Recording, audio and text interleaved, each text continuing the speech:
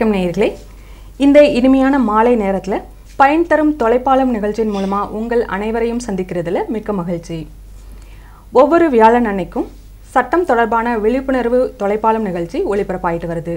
அந்த வகையில் இந்த வாரம் இந்த வாரம் ஒளிபரப்பாகிற தொலைப்பாலம் நிகழ்ச்சியில் குடும்ப நல சட்டம் குறித்த நம்மளுடைய கேள்விகளுக்கு விளக்கம் தரதுக்காக நம்ம கூட இன்னைக்கு வந்திருக்காங்க. நம்மளுடைய சிறப்பு விருந்தினர் வழக்கறிஞர் திருமதி அனிதா அவர்கள். நேர்களே குடும்ப நலச் சட்டம் குறித்த உங்களுடைய கேள்விகளுக்கு நீங்கள் தொடர்பு கொள்ள வேண்டிய தொலைபேசி எண்கள் இரண்டு இரண்டு ஏழு இரண்டு நான்கு எட்டு ஏழு மற்றும் இரண்டு இரண்டு ஏழு இரண்டு நான்கு எட்டு எட்டு. நிகழ்ச்சியை தொடங்குறதுக்கு முன்னாடி நேர்களே உங்ககிட்ட ஒரு சின்ன விண்ணப்பம். நேர்களே உங்களுடைய கேள்விகளை தெளிவாகவும் சுருக்கமாகவும் கேட்டிங்கன்னா மற்ற நேயர்களும் அவங்களுடைய கேள்விகளை கேட்டு தெரிஞ்சுக்கிறதுக்கு நிறைய வாய்ப்பு கிடைக்கும். வாங்க நேயர்களே நிகழ்ச்சிக்கு போகலாம். வணக்கம் மேம் மேம் இப்போ குடும்ப நலச் சட்டம் அப்படின்னா என்ன? அதை பற்றி கொஞ்சம் தெளிவாக சொல்லுங்கள் மேம் குடும்ப நலச் சட்டம் அதில் முதல்ல என்னென்ன கேசஸ்லாம் வந்து நம்ம ஃபைல் பண்ணுறோம் எதனால் அந்த மாதிரிலாம் ஏற்படுது அப்படின்றத பற்றி நம்ம முதல்ல தெரிஞ்சுக்கலாம். இப்போ ஏற்கனவே வந்து மேரீடு ஆனவங்க டிவோர்ஸ் கேட்குறதுக்காக இல்லை அது வந்து திருமணம் வந்து முறிஞ்சு போகிறதுக்காக அதனால ஃபஸ்ட்டு வந்து கேசஸ் வந்து கோர்ட்டில் ஃபைல் பண்ணுவாங்க. அடுத்தது சைல்டு வந்து அவங்கக்கிட்ட இருக்கும். மதர் ஆர் ஹஸ்பண்ட் கிட்ட யார்கிட்டயாவது இருக்கும். அவங்கக்கிட்ட வந்து குழந்தைய வந்து நம்ம கஸ்டடியில் எடுக்கிறதுக்காக கஸ்டடி சைல்டு கஸ்டடின்னு சொல்லிட்டு கேஸ் எடுப்பாங்க. அதுக்கப்புறம் கார்டியன்ஷிப் எடுப்பாங்க. டொமஸ்டிக் வயலன்ஸ் ஆக்ட் அப்படின்ட்டு மற்ற வந்து ஃபேமிலி கோர்ட்டஸ் அப்படின்னு வரும்போது இந்தந்த இஷ்யூஸில் தான் வந்து கேசஸ் வந்து ஃபைல் பண்ணுவாங்க. அது எந்தெந்த கோர்ட்லலாம் ஃபைல் பண்ணுவாங்க அப்படின்னாக்கா நியர்பை அவங்க வந்து மேரேஜ் ஆகின இடத்துல இருக்கும். இல்லைனாக்கா அவங்களுடைய ரெசிடென்சி அட்ரஸ்ஸு அந்த இடத்துல தான் ஜூரி செக்ஷன்லாம் வந்து கோர்ட்டில் வந்து கேஸ் வந்து ஃபைல் பண்ணணும். அப்படிங்க அந்த மாதிரி. இப்போ வந்து கல்யாணம் ஒரு ஒரு ஊரில் நடந்திருக்கும். வேற ஊரில் ஊரில் இருக்காங்கன்னா அப்போ அவங்க நேட்டிவ் பிளேஸில் போயிட்டு தான் அவங்களால ஃபைல் பண்ண முடியும். இல்லை இப்போ வந்து மேரேஜ் எங்கே அவங்களுக்கு நடந்ததோ அந்த இடத்துல பண்ணலாம். இப்போ ரெசிடென்சினாக்கா அவங்க வந்து மேரிட் இப்போ எக்ஸாம்பிள் கடலூரில் பண்ணியிருப்பாங்க மேரேஜ் பட் ரெசிடென்சி இப்போ ஜாபுக்காக இங்கே வந்திருக்காங்க அப்படின்னும் போது இந்த இடத்துல வந்து நம்ம போட்டு ஃபைல் பண்ணலாம். ஆனால் ஃபைல் பண்ணும் போது ரெசிடென்சி எங்கே இருக்காங்கன்றது நெசசரி ஓகே வைக்கணும். வைக்கணும். வைக்க ஃபைல் பண்ணணும் அதில். ஓகே மேம் இப்போ வந்து நம்ம திருமணங்கள் வந்து நிறைய நடந்துட்டு இருக்கு இப்போ திருமண சட்டம் அது ரெஜிஸ்ட்ரேஷன் வந்து ரொம்ப முக்கியமா மேம் கண்டிப்பாக மேம் இப்போ எதனால் அப்படின்னாக்கா இப்போ கோர்ட்டில் நம்ம ஒன்று ஃபைல் பண்ண போகிறோம் அப்படின்னாக்கா நமக்கு வந்து ப்ரூஃப் வெரி இம்பார்ட்டன்ட் அதனால் ரிஜிஸ்ட்ரேஷன் பண்ணாக்கா என்னெல்லாம் பெனிஃபிட் வரும் அப்படின்னாக்கா ரிஜிஸ்ட்ரேஷன் பண்ணுறதுனால வந்து அவங்க ரெண்டு பேருக்கும் வந்து அதிகமான மேரேஜ் பண்ணுறாங்க இல்லையா? ஒன் ஆர் டூ ஒரு பர்சனுக்கு தெரியாமல் இன்னொருத்தவங்க செகண்ட் மேரேஜ் பண்ணுறது அந்த மாதிரி மேரேஜை வந்து தடுக்கலாம். அடுத்தது வந்து குழந்தை திருமண சட்டம் பதினெட்டு வயசுக்கு குறைஞ்ச இருக்கிறவங்களுக்கு. அதனால வந்து இதில் இந்த மாதிரி விஷயத்தெல்லாம் கொஞ்சம் தடுக்கிறதுக்கு அப்படின்னும் போது ரிஜிஸ்ட்ரேஷன் பண்ணால் தான் அங்கேயே வந்து இல்லை அப்படின்ற மாதிரி ரிஜெக்ட் பண்ணிடுவாங்க. ஸோ நம்ம வந்து தெரியாமல் இந்த சின்ன பசங்க இப்போ மேரிட் படிக்கிற பசங்க அந்த மாதிரிலாம் வந்து இப்போ மேரேஜ் பண்ணிக்கிறாங்க கோவிலில் போய் பண்ணிக்கிறது. அதெல்லாம் வந்து வேலிடி எதுக்காக அது வந்து பண்ணுறோம் அப்படின்னாக்கா ஃப்யூச்சரில் வந்து குழந்தை அவங்களுக்கு பிறக்குதுன்னும் போது அவங்களுக்கு வந்து பெனிஃபிட் ஏதாவது கிடைக்கிறதுக்கு சொத்துலையோ இல்லை ஜீவனாம்சம் வாங்குறதுலையோ மற்ற அந்த மாதிரி விஷயத்தெல்லாம் வந்து அவங்க கோர்ட்டில் போய் கேட்கும் போது அந்த டைமில் கொஞ்சம் டிலேவ் ஆகும் அவங்களுக்கு. அந்த விஷயத்துக்காக கொஞ்சம் நம்ம ரிஜிஸ்ட்ரேஷன் பண்ணாக்கா வெரி இம்பார்ட்டண்ட்டாக கொஞ்சம் நல்லது இருக்கும். ஓகே அந்த ஒரு ரீசனுக்காக தான் பண்ணுறது இப்போ நீங்கள் வந்து குழந்தை இதை பற்றி சொன்னீங்க. அப்படி இப்போ ஏதாவது ஒரு மனமுறிவு காரணமாக குழந்தை வந்து யார்கிட்ட இருக்கு? எக்ஸாம்பிள் இப்போ மதர் கிட்ட குழந்தை இருக்குது அப்படின்னும் போது ஒரு ஃபாதர் வந்து பார்க்கணும். பார்க்காம இவங்க வந்து அவுட் ஆஃப் ஸ்டேஷனில் குழந்தைய வச்சுட்டு இருக்கிறாங்க அப்படின்னும் போது கஸ்டடியில் எடுத்து பண்ணலாம். ஒரு ஏற்கனவே வந்து இவங்க டிவோர்ஸ் கேட்டிருப்பாங்க. கேட்டு வந்து கோர்ட்டில் வந்து ஃபைல் பண்ணியிருப்பாங்க. அதில் வந்து ஒரு பெட்டிஷன் ஒன்று போட்டு குழந்தைய வந்து என்கிட்ட இருக்கணும். அப்படின்னா எதனால் நீங்கள் எடுக்கிறீங்கன்றதையும் நம்ம ப்ரூஃப் பண்ணி ரீசன்ஸ் சொல்லணும்.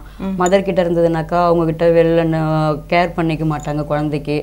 அவங்களுக்கு வந்து எஜுகேஷனுடைய கொடுக்கறதுக்கோ இல்லை வந்து ஹெல்த்துக்காக மெடிசன் அந்த மாதிரி வந்து பெனிஃபிட்லாம் இருக்காது. அதனால என்னுடைய குழந்தைய வந்து நான் எடுத்து கஸ்டடியில் வந்து வளர்த்துக்கிறேன் அப்படின்ற மாதிரி ஒரு பெட்டிஷன் ஒன்று அவங்களுக்கு போடணும்.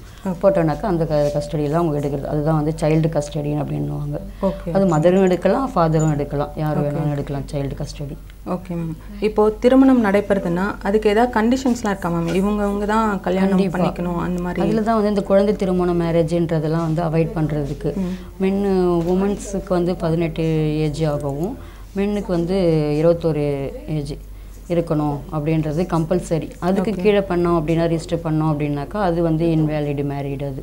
ஓகே அதனால் வந்து ரெண்டு பேருமே ரிஜிஸ்ட்ரேஷன் பண்ணுறாங்க அப்படின்னும் போது மேரேஜ் பண்ணிக்கிற ஒரு கண்டிஷனில் இருக்காங்க அப்படின்னும் போது அவங்களுக்கு வந்து நல்ல குட் மென்டாலிட்டியாக இருக்கணும். ஏமாற்றி பண்ணுறாங்க அந்த மாதிரிலாம் சில கண்டிஷன் இருக்கக்கூடாது. ஒருத்தவங்களுக்கு அதனால தான் நம்ம ரிஜிஸ்ட்ரேஷன் மேரேஜ் பண்ணுறது வந்து இப்போலாம் ரொம்ப வெரி இம்பார்ட்டண்ட்டாக இருந்துட்டு இருக்குது. ஓகே மேம் இப்போ வந்து நம்ம திருமணம் செய்கிறாங்க நிறைய பேர் ரெஜிஸ்ட்ரேஷன் பண்ணாமலே அந்த மாதிரி பண்ணிட்டு இருக்காங்க இப்போ யாராவது ஒருத்தர் வந்து ஆல்ரெடி மேரிட் ஆகி இன்னொரு பொண்ணையும் கல்யாணம் பண்ணிக்கிட்டாங்கன்னா அதுக்கு வந்து அவங்க என்ன மாதிரி இது பண்ணலாம் மேம் அதுக்கு முன்னாடி ஒரு கால் இருக்காங்க மேம் நம்ம அவங்கள பார்த்துட்டு வந்துடலாம். ஹலோ வணக்கம் சார் சார் உங்க பேரு எந்த ஊர்ல இருந்து பேசுறீங்கன்னு சொல்லுங்க. அதுக்கு முன்னாடி டிவி வால்யூமை மியூட்ல படிச்சுக்கோங்க சார். சார் உங்க டிவி வால்யூமை மியூட்ல வச்சுட்டு கே என்ன சார்? ஆ சொல்லுங்க. ஆ, உங்க பேரு சார்? ஆ சொல்லுங்க சார். எங்க சிஸ்டருக்கு வந்து மேரேஜ் ஆகி இருபத்தி ஏழு வருஷம் ஆகுதுங்க. சரிங்க. அதாவது வந்து எங்க சிஸ்டர் வந்து ரெண்டு பசங்க ஒரு பொண்ணு ஒண்ணு பையன் ஒண்ணு அதாவது வந்து பொண்ணு வந்து லெவன்த் படிக்கும் போது நான் இங்க நெய்வேலிக்கு வந்துட்டாங்க. பிரிஞ்சு அவங்க ஹஸ்பண்ட் அண்ட் ஒய்ஃபுக்குள்ள ப்ராப்ளம் ஆகி. ஓகே.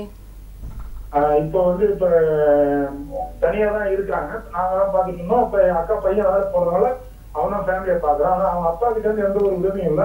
அவங்க அப்பா கவர்மெண்ட்ல வந்து ஒர்க் பண்ணிட்டு இருக்காரு சரிங்க. அவங்களுக்கு வந்து சொந்தமா அதாவது வந்து அவங்களுடைய அப்பா வாங்கின வீடு ஒண்ணு இருக்கு. மூணு ஒரு ரெண்டு வீடு இருந்தது. அது பூர்வீக வீடு. சரிங்க. அதுல ஒரு வீடை வித்துட்டாரு. ஆனா இப்ப அந்த சொத்தை நாங்க ஏதாவது சேவ் பண்ணி வாங்க முடியுங்களா? அதுக்கு அது சம்பந்தமா யாருக்கு நாங்க உதவி கேட்கணும்? சரிங்க சார். இப்போ மேடம் உங்களுக்கு விளக்கம் அளிப்பாங்க. வணக்கம் சார். இப்போ ஏஜ் எத்தனை என்னங்க சார் ஆகுது? உங்கள் பையனுக்கு? இல்ல அவர் பேர. பையன். சிஸ்டர் பையன் அக்கா பொண்ணுக்குங்களா ஓகே ஓகே இல்லை இப்போ அவங்க ஒர்க் பண்ணுறாங்கன்றீங்களா அது ப்ராப்பர்ட்டி வந்து யாருடைய பேரில் இருக்குது அது?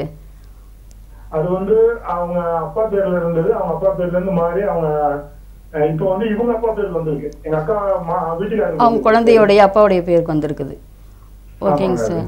இப்போ அது வந்து நம்ம இப்போ கேஸ் ஏதாவது போட்டிருக்காங்களா? மெயின்டெனன்ஸ் கேட்டு ஏதாவது இல்லை டிவோர்ஸ் கேட்டு ஏதாவது கோர்ட் ரன்னிங்கில் இருந்துட்டு இருக்குங்களா? எதுவும் போடல. நாங்க வக்கீல போய் கேட்டதுக்கு வந்து அவங்க வந்து வாரிசு சர்டிஃபிகேட் தான் வேணுங்கிற மாதிரி கேட்டாங்க. அதுக்கான ப்ரூஃப் மற்ற எதுவும் இல்ல. ஆதார் கார்டு தான் அப்பாங்கிற பேர் நாங்க ஏற்றி வச்சிருக்கிறோம். ரேஷன் கார்டு இருந்தது. இங்க எடுத்தாங்க. எடுத்தப்ப என்ன ஆச்சுன்னா அக்கா கணவனுடைய போட்டோ வந்து மாறி போனதுனால அது ரீப்ளேஸ்மெண்ட் கொடுத்து அதை யூஸ் பண்ணாமே அந்த கார்டு டெத் ஆயிடுச்சு. ஓகேங்க சார். DC இருக்குமேங்க sir. குழந்தை பையன் பையன் படிச்சாங்க இல்லையா? ஃபாதர் நேம் போட்டு அவங்கள அந்த இதை வந்து ப்ரூஃப் காமிச்சு பண்ணிக்கலாமே?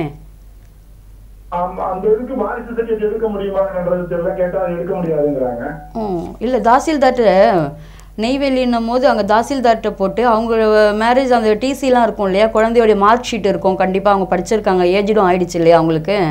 டிசியில் இருக்கும். ஃபாதருடைய நேம் இருக்கும் அதில். மார்க் ஷீட்டு மற்ற எல்லாத்துலேயும் அது ப்ரூஃப் இருக்கும். அதை காமிச்சோம்னாக்கா நம்ம தாசில்தார் அவங்க கிட்ட போயிட்டு நம்ம கேட்டோம்னாக்கா நம்ம அது சர்டிஃபிகேட் வாங்கி கொடுக்கலாம் அதில். வாங்கி கொடுத்தோம்னாக்கா நம்ம அதில் வந்து என்ன ப்ராப்பர்ட்டி இருக்குதோ அதனுடைய சொத்தோடைய ப்ராப்பர்ட்டி அவங்கள்ட்ட நம்ம காமிச்சோம்னா அது வந்து அட்டாச்மெண்ட் பண்ணி நம்ம கேட்கலாம் நம்ம. அதுக்கு வந்து நம்ம மெயின்டெனன்ஸ் போட்டு நம்ம கேட்கணும் அதை. இப்போ அது அவங்க ஃபாதர் நேமில் இருக்குதுன்னு சொன்னீங்களே. ஒன்று தான் வந்து அவங்க மாறி இருக்குது இல்லைங்களா? அது தாத்தாவுடைய இது பையன் பேரனுக்கும் உண்டு. பட் அவர் வந்து எழுதி வைக்கல இல்லையா? இன்னும் யாருக்கும்? அது கேஸ் தான் சார் நம்ம ஃபைல் பண்ணணும். ஃபைல் பண்ணோம்னா கண்டிப்பாக கிடைக்கும் அதில். ப்ரூஃப் மட்டும் நம்ம ப்ரூஃப் மட்டும் போடுங்க. வாரிசு certificate வாரிகை சர்டிஃபிகேட் எடுத்து ஆமாம் ஆமாம் இவங்களுடைய புள்ள இவங்க தான் அப்படின்னு சொல்லிட்டு மெயின்டெனன்ஸு அந்த இன்னொரு டாக்டர் இருக்காங்க இல்லையா அவங்களுக்கு மேரீட் ஆகலை அப்படின்னாக்கா அதை ஒரு ரீசனாக வச்சு குழந்தைக்கு மேற்கொண்டு படிக்கிறதுக்கு மேரேஜ் பண்ணுறதுக்கு இதுக்கெல்லாம் எங்களுக்கு வந்து செலவுக்கு வேணும் அப்படின்னு சொல்லிட்டு நீங்கள் வந்து காலம் கடந்துட்டீங்க. இருந்தாலும் பரவாயில்ல கேட்குறது நீங்கள் இப்போ கேட்கலாம். இப்போ தான் நான் வந்து கல்யாணம் பண்ண போகிறோம் பொண்ணுக்கு. இல்லை மேற்கொண்டு பையனுக்கு வந்து நாங்கள் படிக்க அனுப்ப போகிறோம் அப்படின்ற ஒரு ரீசனில் நீங்கள் கேட்கலாம் இப்போ. போட்டீங்கன்னாக்கா இப்போ வித்தின் இதில் சீக்கிரமாகவே கவுன்சிலிங்லாம் போட்டு முடிச்சிடுறாங்க ஹைகோர்ட்டில் ஸோ நீங்கள் கேட்கலாம். ரெசிடென்சி இப்போ எங்கே சார் அவங்க எங்கே மேரேஜ் பண்ணாங்க? இப்போ உங்கள் சிஸ்டர் எங்கே இருக்காங்க? நெய்வேலியிலையா? கடலூர் கடலூர் யார் இருக்காங்க? Cuddalore district Cuddalore district court okay அங்கே வந்து கோர்ட்டு சப் கோர்ட்டில் போடலாம். கடலூர். ஓகேங்க சார் தேங்க்யூ நன்றி சார் இப்போ வந்து இதுதான். எந்தெந்த கோர்ட்டில் வந்து இருக்காங்க அப்படின்னும் போது தெரியாமல் அவங்க இவ்வளோ நாள் வருஷமாக வந்து ஃபைல் பண்ணாமல் இருந்திருக்காங்க. ஸோ ஆனால் மெயின்டெனன்ஸ் வந்து இந்த டுவெண்ட்டி இயர்ஸ்க்கே அவங்க வந்து கிளைம் பண்ணியிருக்கலாம். பட் பையனுக்கு இவ்வளோ ஏஜ் ஆகி அவங்க பண்ணலை. இப்போ இருக்கிற ப்ராப்பர்ட்டியை காமிச்சு நம்ம அட்டாச்மெண்ட்டு நம்ம கேட்டு போட்டுக்கலாம். கேட்டுவாங்க. இதுக்கப்புறம் இப்போ இது வரைக்கும் டுவெண்ட்டி இயர்ஸாக வாங்காம இருக்காங்களே அது எல்லாம் மொத்தமா சேர்த்து வாங்கலாமா இல்லை இப்போ தானே இவங்க ஃபைல் பண்ண போகிறாங்க எந்த டேட்டில் ஃபைல் பண்ணுறாங்களோ அந்த டேட்லேருந்து நமக்கு claim ஆகும். பட் இத்தனை வருஷம் நாங்கள் பண்ணலை அப்படின்றத நம்ம அதை போய் கேட்க முடியாது. காலம் தட கடந்தது அது. பண்ணிட்டோம் நம்ம ஃபைல் பண்ணிட்டோம் ரிலீவில் ஒரு ஃபைவ் இயர்ஸ் இருக்குது அப்படின்னாக்கா நம்ம அதை பண்ணலாம். பட் இப்போ ஃபைல் பண்ணாங்க என்ன டேட் அப் டு மண்டே பண்ணுறாங்க அப்படின்னும் போது அந்த டேட்லேருந்து நமக்கு எப்போ ஆர்டர் பாஸ் பண்ணுறாங்களோ அந்த டேட் வரையும் தான் நம்ம claim பண்ண முடியும். ஓகே ஆனால் பட் வந்து அட்டாச்மெண்ட் வந்து பண்ணாக்க ப்ராப்பர்ட்டியை தான் கேட்குறாங்க அவங்க மெயின்டெனன்ஸை பற்றி நம்ம கேட்கல அந்த இருக்கிற ப்ராப்பர்ட்டியை வந்து நான் கேட்கணும் அவங்க ஃபாதர் பேரில் இருக்கிறது அப்படின்றாங்க. அதை வந்து நம்ம அட்டாச்மெண்ட் கேட்டு நம்ம கேட்கலாம். அவர் வந்து கவர்மெண்ட்ல ஏதோ ஒர்க் பண்ணுறதான்னு சொல்லிட்டு இருக்கிறாங்க. அந்த இதுலேயும் நம்ம மெயின்டெனன்ஸ் நம்ம கேட்கலாம் அவங்க. ஓகே அவங்க நேர்களே உங்களுடைய கேள்விகளை நீங்க கேட்கும்போது உங்களோட டிவி வால்யூமை மியூட்ல வச்சுக்கோங்க. இல்லை நல்லா குறைச்சி வச்சுக்கிட்டீங்க அப்படின்னாக்கா உங்களுக்கு வந்து நல்லா தெளிவாக கேட்கும் உங்களுடைய கேள்விகளை இன்னும் வேற யாருக்கோ கூட இருக்கலாம். அவங்களும் அந்த இது வந்து ஆன்சர் வாங்கிட்டு அவங்களும் அதனால பயனடைவாங்க. இன்னொரு நேயர் காத்துட்டு இருக்காங்க ஹலோ ஹலோ வணக்கம் சார் எங்கேருந்து பேசுறீங்க? உங்க பேர் என்ன சார் வணக்கம் மேடம் வணக்கம். திருப்பூர்ல இருந்து பேசுறேன் மேடம் என்னோட பேர் முருகன். ஆ சொல்லுங்க சார் உங்க கேள்விகளை நீங்க கேட்கலாம் சார். வணக்கம் சார் சொல்லுங்கள் சார். ஆ, அதான் மேடம் இப்ப இந்த டைவர்ஸ் வந்து பல கருத்து வேறுபாடுலாம் சில பேர் டைவர்ஸ் பண்றதுக்கு அப்ளை பண்றாங்க. எங்களோட கேள்வி என்னன்னா வந்து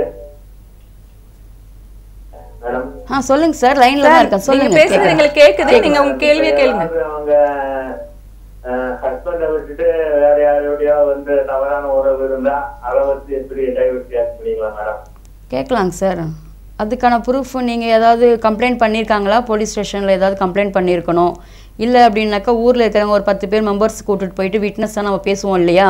ஊரில் இருக்கிறவங்கள ஒரு சொந்தக்காரவங்க ஒரு டென் மெம்பர்ஸு அந்த மாதிரி கூட்டின்னு போய் நம்ம கேட்போம்.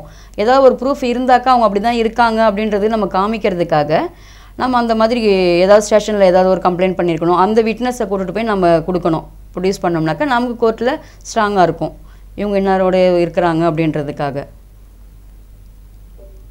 எப்படி நம்ம இன்னும் ஒரு ஒரு பத்து பேரை கூட்டின்னு போயிருப்போம் இல்லையா? இவங்க இந்த மாதிரி இருக்கிறாங்க வரமாட்டேங்கிறாங்க அப்படின்னுட்டு அவங்கள கூட அப்படி இல்லைனாக்கா எவிடென்ஸாக கூட்டிகிட்டு போயிட்டு நம்ம போடலாம் கோர்ட்டில் ப்ரூஃப் பண்ணணும். இந்த பர்சனோட இவங்க இருக்காங்க அப்படின்றத ப்ரூஃப் பண்ணோம்னா தான் நம்ம வந்து வேலிட் ஆகும் அது.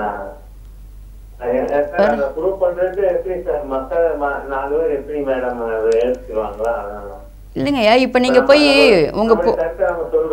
ம். இல்லை இப்போ உங்கள் சொந்தக்காரங்க ரிலேஷனில் போய் நாலு பேர் கூட்டின்னு போய் தான் நம்ம பேசுவோம் இல்லையா ஏதாவதுனாக்கா?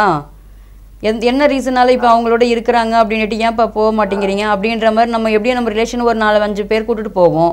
இல்லைன்னா நீங்கள் டைரெக்டாகவே நீங்கள் ஸ்டேஷனில் போய் கூட நீங்கள் கம்ப்ளைண்ட் பண்ணலாம். இந்த மாதிரி இவங்க இருக்க மாட்டேங்கிறாங்க. கூப்பிட்டு அவங்களையும் எந்த பர்சனோ சம் பர்சனை வந்து கூப்பிட்டு அவங்க விசாரிப்பாங்க. மகளிர் காவல் நிலையத்தில் போயிட்டு எங்கே இருக்காங்களோ அந்த ஜூரி செக்ஷன் போலீஸ் ஸ்டேஷனில் போயிட்டு கம்ப்ளைண்ட் பண்ணீங்கன்னாக்கா அவங்க கூப்பிட்டு அவங்கள விசாரிப்பாங்க. என்னென்னப்பா அப்படியா? அப்படின்ற மாதிரி. ஸோ அந்த ஒரு நம்ம ப்ரூஃபை எடுத்துன்னு போய் தான் நம்ம காமிக்கணும் அதில் கோர்ட்டில் அதை போட்டு நம்ம கேட்கணும் ஓகே மேடம் நன்றி மேடம் நன்றி உங்கள்கிட்ட தெரிஞ்சுக்கலாமே மேடம் Okay. ரொம்ப நன்றி நன்றிங்க சார் மேம் இப்போ நம்ம ஒருத்தர் இரண்டாவது திருமணம் செய்துக்கிட்டாங்க அப்படின்னாக்கா அப்போ அந்த பெண் வந்து தெ- பின்னாடி தெரிய வரும்போது கல்யாணம்லாம் ஆனதுக்கப்புறம் தெரிய வரும்போது அவங்க என்ன மாதிரி நடவடிக்கை எடுக்கலாம்? யாரை போய் அணுகணும் அதுக்கு அவங்க வந்து? அதுக்கு தீர்வு கிடைக்கிறதுக்கு. ரெண்டாவது ஃபர்ஸ்ட் மேரேஜ் பண்ணவங்க. ஒருத்தர் அவங்க wife தெரியாம கல்யாணம் பண்ணிட்டாங்க. ஏற்கனவே ஃபர்ஸ்ட் மேரேஜ் ஆனது சொல்லாமலே கல்யாணம் பண்ணியிருந்தாங்கன்னா. அப்போ வந்து அதுதான் மேடம் இப்போ எங்கே இருக்காங்களோ இப்போ ஜூரி செக்ஷனில் இப்போ இருக்காங்க அப்படின்னாக்கா அந்த உமன்ஸ் காவல் நிலையத்தில் போய் பண்ணோம் அப்படின்னாக்கா அவங்கள கூப்பிட்டு பனிஷ்மெண்ட் கொடுக்கறதுக்கு பண்ணுவாங்க. பட் அதனால வந்து இது இன்வேலிடுன்னு கிடையாது அது. அவங்க மூலியமாக கொடுக்குற குழந்தைக்கு வந்து அவங்களுக்கு பெனிஃபிட் அது. குழந்தை அவங்களுடைய சைல்டில் தான் இருக்கும் அது. அவங்க வந்து உமன்ஸ் இதில் தான் போய் கம்ப்ளைண்ட் பண்ணணும். பண்ணோம்னாக்கா அதில் ஏதாவது இவங்க காம்ப்ரமைஸ் பண்ணால் தான் உண்டு.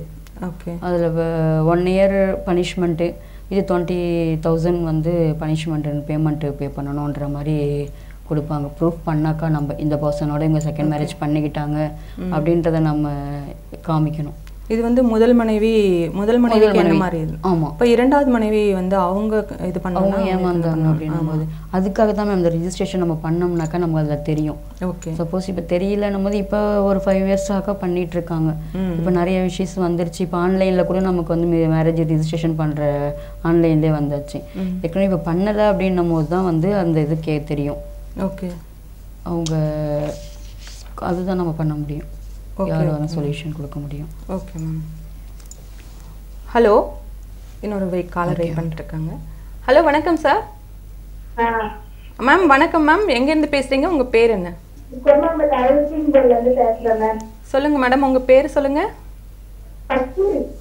ஆ சொல்லுங்க மேம் உங்க சந்தேகத்தை கேட்கலாம். வந்து குடும்பம் வந்து ஹஸ்பண்ட் வந்து தொடர்பு வச்சிருந்தாங்க சரிங்க. வாய்ஸ் சரியா கேட்கல அம்மா உங்க வாய்ஸ் வந்து கிளியரா கேட்கல உங்க டிவி வால்யூம் குறைச்சிக்கோங்க. வெளியில ஆ சரிங்கம்மா. ஒரு கொஞ்சம் டவர் இருக்கிற இடமா பார்த்து நின்னு பேசுங்கம்மா. ஆ கேட்குது சரிங்க.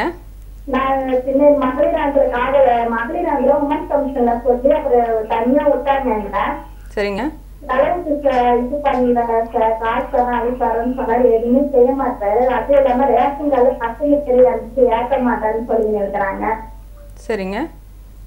ஆஹ் அதுக்கு என்ன செய்யலாம் ஒண்ணுமே தெரியல. கேட்டேன்னா அவங்க மாதிரி மா இது மாதிரி பேக் கேட்கறாங்க சரிங்க.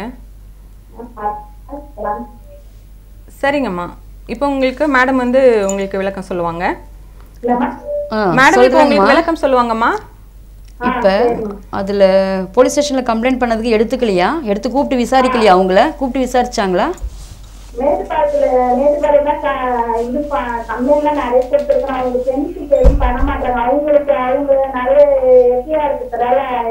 எடுத்து பேசலை எதுவும். சரிம்மா அதுக்கு நீங்கள் கேஸ் டைரெக்டாகவே நீங்கள் ஃபைல் பண்ணலாமே. ஏன் ஃபைல் பண்ணாமல் கோர்ட்டில் கேஸ் ஃபைல் பண்ணலாம் இல்லையா? கோர்ட்ல ஆமாம் கேஸ் வந்து ஃபைல் பண்ணலாம். நீங்கள் வந்து இன்னொரு இன்னொரு பர்சனோட இருக்காங்கன்றீங்களா? இன்னொரு லேடியோட இருக்காங்க அப்படின்னு சொல்கிறீங்களா. சரி. அத்தையும் உங்களுக்கு என்ன- உங்களுக்கு relief என்ன வேணுமா?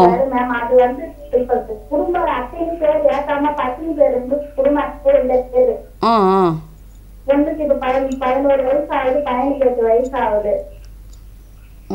அதை ஏற்றுறதுக்கு என்ன பண்ணுறோம் அப்படின்னு கேட்குறீங்க அவங்க சேர்ந்து வாழ சொல்லி நீங்கள் வந்து கேஸ் ஃபைல் பண்ணுங்க. நான் அவரோட சேர்ந்து வாழணும்.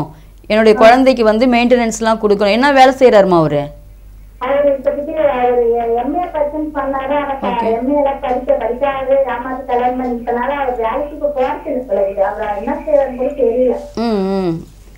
இப்ப அவங்களுடைய பர்த் சர்டிஃபிகேட் இருக்கும் இல்லைங்களா? குழந்தைக்கு பர்த் சர்டிஃபிகேட் இருக்குது இல்லையா ஆ பர்த் சர்டிஃபிகேட் தான் இருக்குது அதை எடுத்துன்னு போய் காமிச்சாலும் அதில் நேம் ஏற்றிடுவாங்கல்ல நீங்கள் ஆதார் கார்டு இதில் ரேஷன் கார்டில் கொடுத்தீங்கனாக்கா கொடுத்து பார்த்தீங்களா? அவங்களோட அட்டையில அவரு அவர் அட்டையில ஏத்தணும்ன்றாங்க என் பேரு கல்யாணம் பண்ணி அம்மா வீட்டுல தான் இருக்குது. அவங்க போனதுக்காக ஏத்துன்னு சொன்னதுக்கு அப்பா பேர் எல்லாமே ஏத்த மாட்டேன்னு சொல்லிட்டாங்க. ஓ அவங்க ரேஷன் கார்டில் அவங்க அப்பா பேர் இருக்குது இல்லையா? உங்கள் ஹஸ்பண்டுடைய பேர் இருக்கும். ஆமா அச்சன் பேரு தான் எங்க அட்டையில பேரு நீக்கல இருந்து கேட்கல. ம் ம். ஆ, அதுதாம்மா அவங்க குழந்தையுடைய பிறந்த சர்டிஃபிகேட்டை எடுத்துன்னு போயிட்டு கொடுத்தீங்கனாக்கா அவங்க வந்து அதில் பதிவு பண்ணுவாங்க. பண்ணலை அப்படின்னாக்கா நீங்கள் வந்து கோர்ட்டில் வந்து கேஸ் போட்டு ஃபேமிலி கோர்ட்டில் வந்து கேஸ் போட்டு இவங்களுடைய குழந்தை இவங்க தான் அப்படின்னு சொல்லிட்டு நீங்கள் அதில் கேஸு கேட்கலாம் நீங்கள்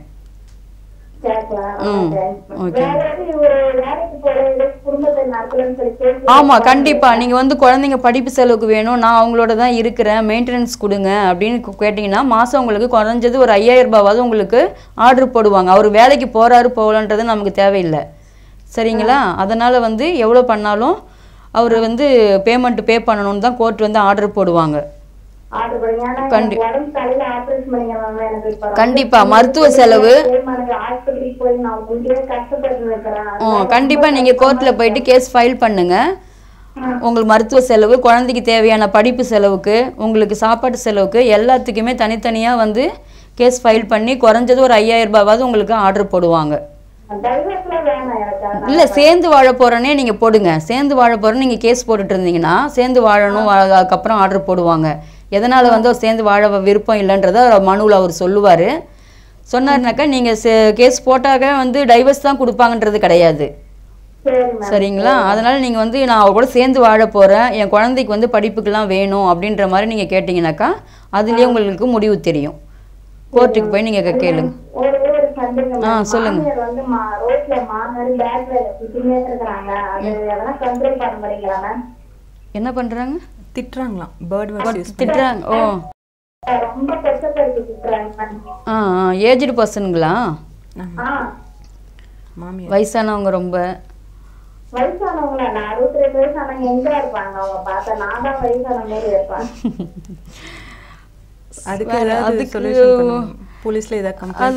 டிவிசி தான் போடணும். உமன்ஸ் போலீஸ் கமிஷன் இருக்குது இல்லையா? அங்கே தான் எடுக்கலன்னு சொல்கிறீங்க இல்லையா? நீங்கள் தான் சொன்னீங்க. போலீஸ் ஸ்டேஷனில் போனோம் எடுக்கல எந்த ஒரு கேஸும் எடுக்கல அப்படின்னு அதுக்கும் நம்ம வந்து கோர்ட்டில் போடலாம். அதில் வந்து டிவிசின்னு சொல்லுவாங்க. டொமஸ்டிக் வன்முறை சட்டம்னு சொல்லிட்டு. என்னை வந்து கொடுமைப்படுத்துகிறாங்க உடல் ரீதியாகவும் சாப்பாடு இல்லாமலும் வீட்டில் இருக்க விடாம மனசு ரொம்ப கஷ்டப்படுத்துகிறாங்க அப்படின்னு சொல்லிட்டு. மாமனார் இருக்கிறாருங்களா? மாமனார் இருக்கு. ரெண்டு பேருமே தான்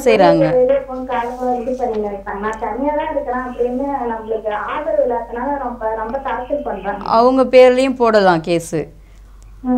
ஒரு கேஸு மூணு கேஸ் ஆகிடும் ஆ. முடிஞ்ச அளவுக்கு காம்ப்ரமைஸ்க்கு என்ன பேசுகிறாங்க அப்படின்றத நீங்கள் கேட்டுக்கோங்க. அவர்கிட்ட சேர்ந்து வாழறதுக்கு கேளுங்க. இல்லைன்னும் போது போட்டுக்கலாமா? நீங்கள் வந்து ஒரு ஒரு நல்ல வக்கீலாக பார்த்து போடுங்க. ஒரு வசதி இல்லை அப்படின்னாக்கா வந்து சமரச நீதிமன்றம் இலவச சட்ட உதவி மையம்னு இருக்குதுமா அங்கே போயிட்டு கூட நீங்கள் உங்களுடைய மனுவை ஒன்று கையால் எழுதி கொடுத்தீங்கன்னாக்கா அதில் வந்து அவங்களே வந்து வக்கீல் வந்து அவங்களே அமைச்சு நீங்கள் ஃபீஸ் எதுவும் தர தேவையில்ல. அவங்களே வந்து உங்களுக்கு வக்கீல் வச்சு நியமித்து தருவாங்க. அது மூலியமாக கூட நீங்கள் நடத்தலாம் கேஸு. நன்றிம்மா. நன்றி நன்றிம்மா. நேர்களே உங்களுடைய கேள்விகளை கேட்கும்போது சுருக்கமாகவும் தெளிவாகவும் கேட்டிங்கன்னா நல்லாயிருக்கும். ஏன்னா இதுலேயே டைம் ரொம்ப இழுத்துட்டு போகிறதுனால மற்ற நேயர்களுக்கு வாய்ப்பு இல்லாமல் போயிடும் இல்லைங்களா? அதனால் சுருக்கமாகவும் தெளிவாகவும் பேசுங்க. மொபைல் ஃபோன்லேருந்து பேசுகிறவங்க நல்ல டவர் இருக்கிற இடத்துல இருந்து பேசுங்க. மேம் இப்போ இது வந்து இவங்களுக்கு ரொம்ப யூஸ்ஃபுல்லாக இருக்கும் அவங்களுக்கு வந்து இன்னும் நிறைய விழிப்புணர்வே விழிப்புணர்வே இருக்காங்க. இல்லாம இருந்துட்டு இருக்காங்க. அவங்ககிட்ட மெயின்டெனன்ஸ் கேட்கணும் டைவர்ஸ் ஆனாதான் மெயின்டெனன்ஸ் கேட்கணும் அப்படின்ற மாதிரி நினைச்சிட்டு இருக்காங்க. பட் நம்ம வந்து கேஸ்னு ஒன்று கோர்ட்டில் போட்டாலே அது வந்து டைவர்ஸ்க்காக தான் போடுறோம் அப்படின்ற மாதிரி தான் நினச்சிட்டு நிறைய பேர் வந்து அப்ளை பண்ணாமல் இருந்துட்டு இருக்காங்க. பட் வந்து சேர்ந்து நான் வாழ போகிறேன் எங்கள் ஹஸ்பண்ட் வந்து பிரிஞ்சிருக்கிறாரு. நான் அவரோட வாழ்ந்துருக்கு வாழணும். இல்லை வேற எங்கேயாவது இவங்களை விட்டுட்டு அவங்க பிரிஞ்சிருக்கலாம். அதனால் அவரோட நான் சேர்ந்து வாழ போகிறேன் அப்படின்னு நம்ம கேட்டோம்னாக்கா வித்தின் எந்த டேட்டில் நம்ம வந்து கேஸ் ஃபைல் பண்ணுறோமோ அதுலேருந்தே மெயின்டெனன்ஸ் பத்து வருஷத்துக்கு ஃபைவ் இயர்ஸ்க்கு நடந்தால் கூட மெயின்டெனன்ஸுன்றது அவருக்கு கம்பல்சரி கொடுத்தாகணும். குழந்தைக்கோ ஒய்ஃபுக்கோ எல்லாத்துக்குமே கொடுக்கணும். பட் அதுவே அவங்க வந்து விழிப்புணர்வு இல்லாமல் இருந்துட்டு இருக்காங்க கோர்ட்டு போலீஸ் ஸ்டேஷனில் மட்டும்தான் கம்ப்ளைண்ட் பண்ணணுன்ற மாதிரி இருந்துட்டு இருக்காங்க பட் அதெல்லாம் இல்லாமல் நிறைய பெனிஃபிட் வந்து கேர்ள்ஸ்க்கு இருந்துட்டு இருக்குது இவங்களுக்கு அதை வந்து யூஸ் பண்ணிக்கணும் அப்படின்றது தான். அதனால வந்து ஃபுல் அண்ட் ஃபுல் வந்து எல்லாருமே கோர்ட்டில் தான் வந்து அப்ரோச் பண்ணணுன்றது கிடையாது. ஓரளவுக்கு வாய்ப்பு இருந்ததுனாக்கா காம்ப்ரமைஸில் கவுன்சிலிங்லேயே நம்ம சரி பண்ணுறதுக்கும் பண்ணுறாங்க த்ரீ ஹியரிங்ஸ் தான் அது தெரியாமல் இருந்துட்டு இருக்காங்க நிறையா பேர். இது கோர்ட் மூலமாவே ஏதாவது காம்ப்ரமைஸ் பண்ணுவாங்களா? கண்டிப்பாக மேம் இப்போ ஹைகோர்ட்லேருந்து நமக்கு என்ன உத்தரவு வந்திருக்குதுனாக்கா கவுன்சிலிங்ன்றதே வந்து ஒரு த்ரீ சிட்டிங் கொடுக்குறாங்க. சின்ன சின்ன விஷயத்துக்கு ஒரு அண்டர்ஸ்டாண்டிங் இல்லாமல் போகிறதுனால வந்து உடனே வந்து கேஸ் போட்ட உடனே வந்து டைவர்ஸ்க்கு தான் டைரெக்டாக உங்களுடைய அப்ஜெக்ஷன் என்ன உங்களுடைய அப்ஜெக்ஷன்ன்றது கேட்கறது இல்ல முடிஞ்ச அளவுக்கு அவங்களுக்கு கவுன்சிலிங் கொடுக்குறாங்க. One or two three hearings compulsory கொடுக்குறாங்க. அந்த இதுலேயே வந்து உங்களுடைய இது என்னன்றதுக்கு சொல்லிட்டு அதில் ஏதாவது காம்ப்ரமைஸ் ஆகுது அப்படின்னும் போது அதில் காம்ப்ரமைஸ் பண்ணிக்கலாம். அது இன்னொன்றுனாக்கா மியூச்சுவல்லையும் போட்டுப்பாங்க. ரெண்டு பேருமே சமாதானப்பட்டு டைவர்ஸ் கேட்கறது. டிவோர்ஸ் அது வந்து சிக்ஸ் மந்த்லேயே முடிஞ்சிடும் எனக்கும் சரி வராது. ஒரு தெளிவான முடிவு எஜுகேட்டடோ இல்லை இல்லைன்னா கூட நிறைய பேர் என்ன பண்ண ஒரு சிக்ஸ் மந்த்லேயே நம்ம முடிச்சுக்கிற மாதிரியும் பண்ணிக்கலாம் அதை. ஃபுல் அண்ட் ஃபுல் நடந்துட்டு இருக்காம எனக்கு இவ்வளோ பெனிஃபிட் எனக்கு என்ன அப்படின்றது ஃப்யூச்சருக்கு எனக்கு கொடுத்துட்டீங்க அப்படின்னாக்கா அதுக்கு கொடுத்து பண்ணிடுறாங்க.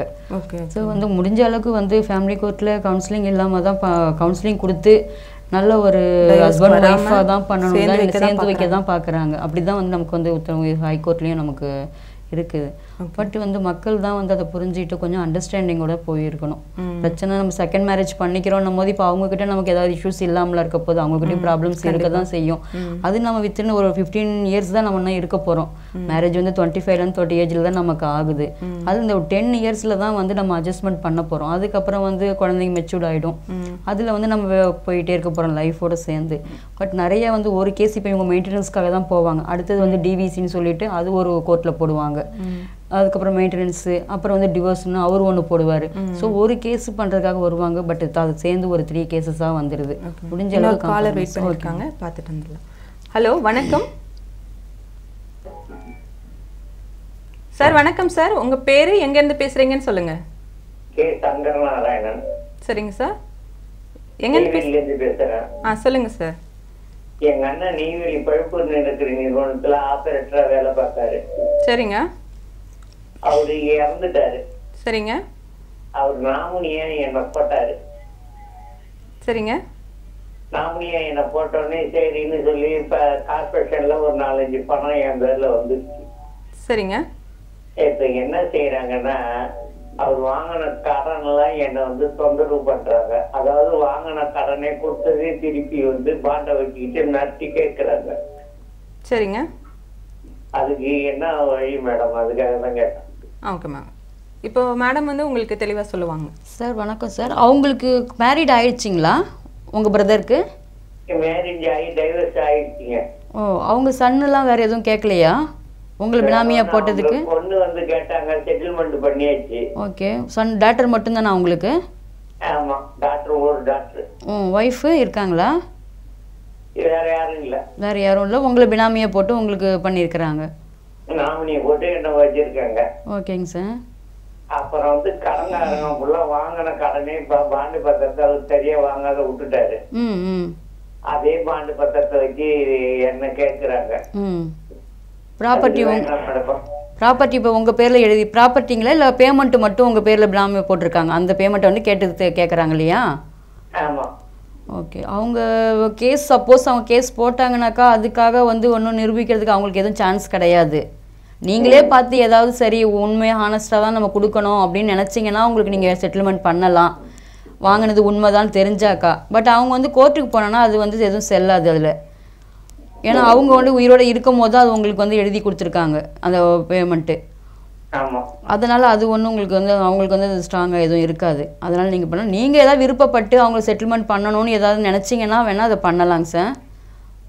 மற்றபடி நீங்கள் அது ஒன்றும் ம். வந்து ம்.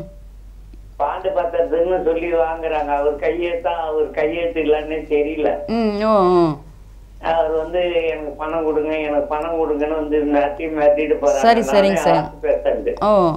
நீங்கள் ஏதாவது கோர்ட்டில் பார்த்துக்கோங்கன்னு சொல்லிடுங்க நீங்கள் எதுவாக இருந்தாலும் நீங்கள் ப்ரூஃப் பண்ணி நீங்கள் கோர்ட்டில் பார்த்துக்கோங்க எனக்கு அதுக்கு சம்மந்தம் இல்லை அப்படின்னு நீங்கள் சொல்லிடுங்க. அவங்க அதை ப்ரூஃப் பண்ணி சேலஞ்ச் பண்ணி வரட்டும். அதுக்கப்புறம் நம்ம அதை ரிலீஃப் கொடுத்துக்கலாம். சரிங்களா? ஓகேங்க சார். தேங்க்யூ நன்றிங்க சார். மேடம் இப்போ வந்து பார்த்தீங்கன்னா நிறைய குழந்தை திருமணங்கள்லாம் நிறைய நடந்துட்டு இருக்குது. அது மாதிரி சின்ன வயசுலயே லவ் பண்ணி வேற எங்கேயாவது போய் கல்யாணம் நீங்கள் சொன்னீங்க கொஞ்ச நேரம் முன்னாடி. அந்த மாதிரி இருக்கிறதுக்கு வந்து சட்டம் மூலமா என்ன மாதிரி தீர்வுகள் இருக்கு மேம் அதுக்கு? அதுக்கு தான் மேம் இப்போ வந்து ரிஜிஸ்ட்ரேஷன் வந்து ரொம்ப முக்கியமானது அப்படின்றாங்க. இப்போ நிறைய பேர் வந்து காலேஜ் படிக்கும் போதே வந்து அவங்க மேரேஜ் பண்ணிடுறாங்க. பேரண்ட்ஸ்க்கு தெரியாமல் பண்ணிடுறாங்க. அந்த மாதிரி பண்ணும்போது இப்போ மியூச்சுவலில் வந்து போட்டு பண்ணிடுறாங்க. மியூச்சுவல்னா சிக்ஸ் மந்த்தில் வந்து மேரேஜ் பண்ணி முடிச்சிடுறாங்க. டிவோர்ஸ் வாங்கிடுறாங்க. அதனால தான் வந்து இப்போ இனிமேல் பண்ணுறாங்க அப்படின்னும் போது ரிஜிஸ்ட்ரேஷன் பண்ணுறது வந்து ரொம்ப முக்கியமானது. ஏன்னா சின்ன வயசுலேயே வந்து அதில் நமக்கு ப்ரூஃப் அது நம்ம தெரிஞ்சிரும். பதினெட்டு வயசுக்கு கீழே இருக்கிற பொண்ணை வந்து மேரேஜ் பண்ணக்கூடாதுன்னுட்டு. அப்படியே பண்ணாங்க அப்படின்னாக்கா அவங்க பேரண்ட்ஸ்க்கு தெரிய வருது. இப்போ ஒரு கேர்ள் வந்து ஒரு சிக்ஸ்டீன் ஏஜ் தான் ஆகுதுன்னு அவங்கள மேரேஜ் பண்ணுறாங்கன்னும் போது அவங்க பேரண்ட்ஸ்க்கு தெரியும் போது தெரியும் போது இந்த ஜென்ஸுக்கு வந்து அது ஒரு பெரிய ஒரு ஃபேக்டர் தான் அமையுது.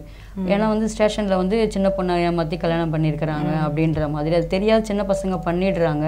இதில் வந்து விழிப்புணர்வோட தான் மேரேஜ் பண்ணணும் அது. இதுக்கப்புறம் நம்ம தெரியாமல் இருந்துட்டு இருக்கக்கூடாது கோவிலில் கல்யாணம் பண்ணுறது அந்த மாதிரிலாம் வச்சுக்காம இப்போ நம்ம இந்த மாதிரி ரிஜிஸ்ட்ரேஷன் பண்ணுறது ரொம்ப நல்லது.